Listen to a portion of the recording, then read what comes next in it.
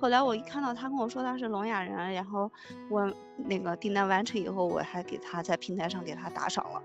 我觉得他让我很开心，让我看到了一个人对生活的热爱，觉得他好可爱。很多的人他们并没有因为自己肢体的残缺而对生活失去热爱、失去信心，他们依然很乐观、很阳光。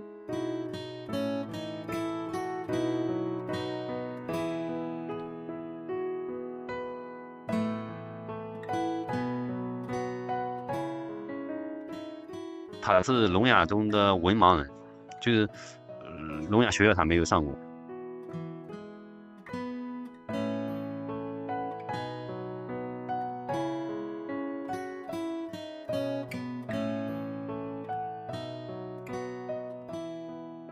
小的时间天不明，这个父辈的就起来把萝卜洗好，就骑上那个自行车，就是就是后面能放放五六袋子那个萝卜，一个袋子都一百多斤。那天早晨，然后喊了人家就喊他，他爸就没有起来，然后他就在他爸爸爸那个怀里面，他爸爸就已经去世了。他小的时间，我爷爷奶奶七八十了，那个在爷爷奶奶家吃一口，在我们家吃一口，这孩子的命挺苦的，反正没吃没享过福。嗯，去给他看了一个专家，我陪他一块去的，因为他没父母嘛。然后医生说的应该是他这个晚了，他哪怕能听到，他也听理解不了什么意思。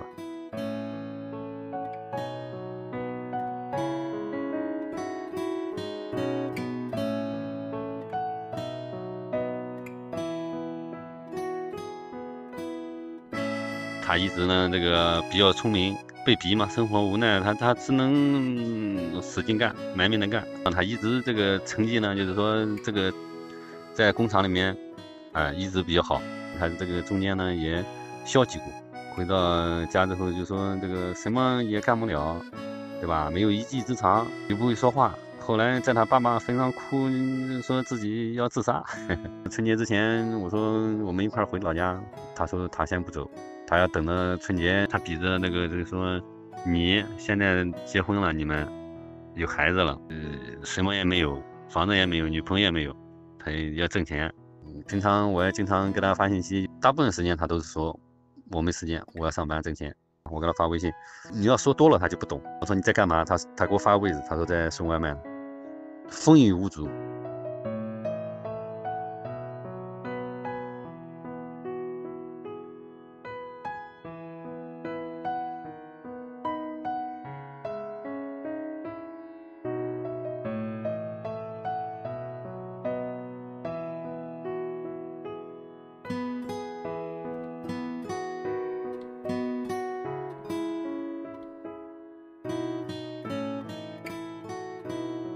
他送外卖呢，但是他听不到，交通法呢还不懂。去年有好几次交通事故，呃，就是撞的都比较厉害。有一次撞的最厉害的，我耳鼻喉都出血，然后颅内出血。我们一家人都坚决反对，不让他去再送外卖了，搞好命都没有了。刚歇了没几天，不行，他说他还要去送外卖。他说他不去干这个，你让我做什么？就是我没有什么意志，也是经常被别人投诉。回来就是给他弟弟啊，有时间晚上回来生气，老是他弟弟老是给那个外卖的给别人解释说不容易，能不能给他取消怎么样？但是有些人年轻人他有些小年轻的不听你的。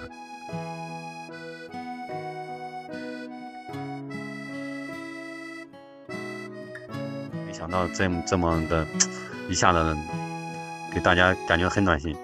我都为他感觉到很骄傲，真的。生活给他了这么多苦，他他都没有放弃。其实我我们也不希望就是社会上说给他什么资助啊或者怎么样。其实我想能通过这个事儿，大家更多的关注到这个残疾人，能有更多的创业的机会，就是不要去做这么危险的工作。